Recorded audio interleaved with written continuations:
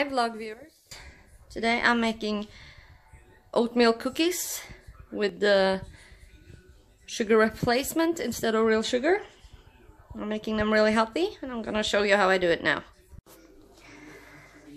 Uh, this is butter and sugar replacement and a little bit of vanilla sugar. I mix that together. I'm gonna use some eggs.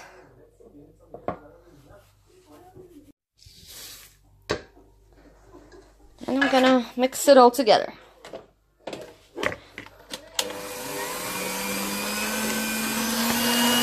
Now I'm adding flour and a little bit of baking soda.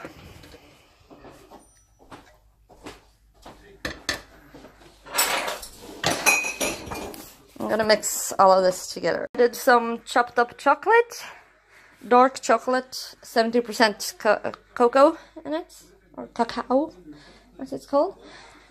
And I'll put the recipe out underneath the video in the video description later or when I post it. Now we're gonna mix this together. The dough is done and I'm gonna roll it out into cookies and put them in the oven.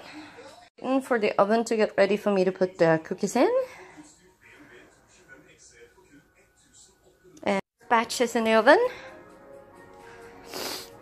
and it's gonna be in there for I use 12 minutes but it varies from oven to oven.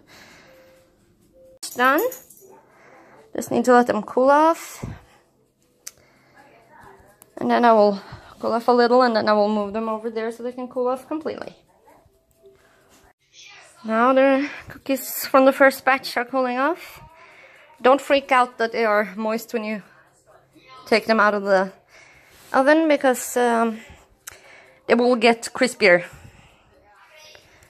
by just standing there to cool off. And they are supposed to be a little bit soft.